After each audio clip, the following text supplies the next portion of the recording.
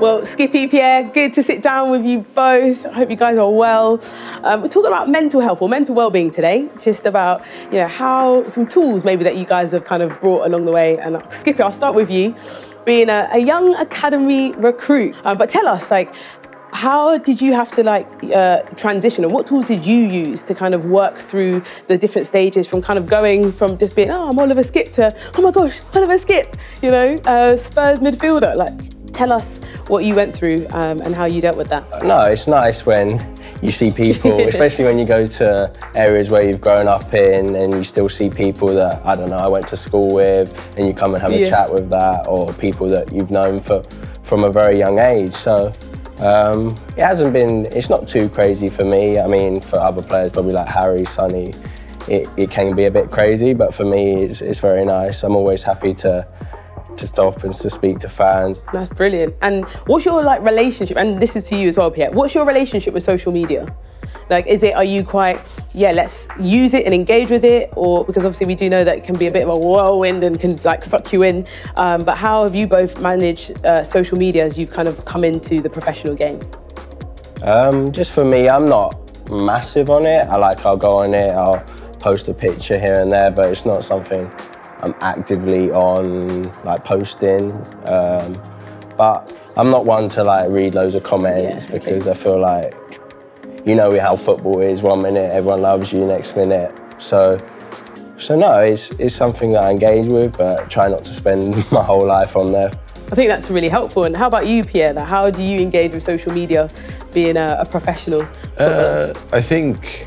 Um, as the year goes on, it's obviously a bigger and bigger thing, but also I think what is important is some sort of platform where you can make the fans uh, feel like they get to know you or you pay the support back in terms of saying thank you or uh, how you say sharing the the the enjoying uh, enjoy, enjoy enjoy enjoying moments or yeah. the, the joy. Yeah you know these kind of things so you can really use it in a positive way and that's what i try to do i try to give back to people sometimes try to to show them a little bit who i am but obviously uh, uh, also, I think uh, as many, let's say, football players are, you'd like to keep certain things a bit private. Brilliant. And so you talk, you both talk about support. Skippy, you just saying it's nice to see, you know, people from school, and obviously you're talking about uh, Pierre, you know, people in your comment section. I guess, you know, you guys have like you play for Tottenham Hotspur. You know, this is no small club. How um, work through that? Like, have you had to put boundaries in place to just, you know, in, in terms of how people interact, or, you know, uh, what tools tools have you had to, to use to just to make sure that you kind of enjoy the journey but not get too sucked up in the journey? When you first come, like play for the first team, like very exciting and you tend to probably read more stuff than as you get get older, go on uh, through through the journey. So I think for me, just uh, it's nice to see like fans' comments. I love seeing that, but sometimes I don't know, just keeping back from from certain things, just to not protect yourself to, to make sure that you're you're only seeing what what's helpful for you. I think it is about protecting yourself. Think, to protect yeah. yourselves in terms of I don't know. You don't need to see a million comments about about who's doing this, who's doing that. Obviously, again, we're talking about mental health. I guess Skippy is kind of a little bit relevant to you right now. But like, how and how do you deal with when you're injured? You know, what do you you know? There's obviously lots of thoughts going through your mind and stuff like that. But what for you has been um, something that's helped you whilst kind of recovering from injury? Um, just in terms of this, it is difficult. I think that all footballers want to be on the pitch doing what they love. Um, but no, it's it often, I've found this time it's given you a little chance to, to look back on what you've done so far in the season. So it's been nice in terms of that. Um, because when you've got games every three days, you don't get that chance. So just try to use this time to look back, but I'm not gonna lie, it is very frustrating. Of course, of Everyone's, course. you're desperate to get back on the pitch, but I don't know, for me, like, I've been doing some upper body, so because maybe I couldn't have done as much during the season. So just other little things that you can do to try and try and improve yourself while, while you are injured. Um, but also like talking to your family, seeing your family, that helps you get through it 100%. That's great. And how about you, Pierre? For a young player who's injured, what would, you know, Skippy spoke about, like looking back on what you've done, which is obviously really good reflection, is really important. What would you say is a good tool to use um, for a young person who's dealing with injury?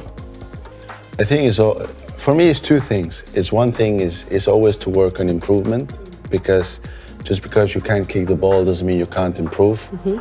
which means you can improve in uh, diet aspect, living style aspect, gym aspect, preparing your body, uh, all this kind of aspect in terms of uh, when you get back, you are not only as good, but maybe further than when you uh, got the setback. Um, and the second thing for me is that I think it's always important that just because you at the moment are injured or you are not able to play or you are not involved in the, in the games by many different reasons doesn't mean your life is not good. Mm. You understand? Like, like I understand that we are often measured by 90 minutes every week, but you are more than 90 minutes every Saturday or 90 minutes every Tuesday, Saturday, Wednesday, Sunday. You, you are the, the, the, the person that you present to the world every single day. So I think I think you both raised brilliant points on that um, in terms of yeah more than more than just the game. You know, obviously we all love football, don't we? Um, now, Pierre, obviously you. Um, are not from London, you've obviously come over. Tell us a bit about how you kind of adjusted from, you know, traveling abroad and playing in another new country how you say, I always said that when you get abroad away from home, mm. your values always gets more dominant because when you are feeling a little bit uncomfortable or in a new phase in your life, you try to hold on to things that you know really well. Mm. And this is in the end maybe your values, you mm. know? Uh, so for me, it was always about keeping the values that I have as a person, as a sportsman, uh, but still adapting as a human being to, to the different environments, to the different languages. And uh, probably the thing that I was uh, creating most positive experiences with was to be curious, mm. always to be curious on the on the culture, mm.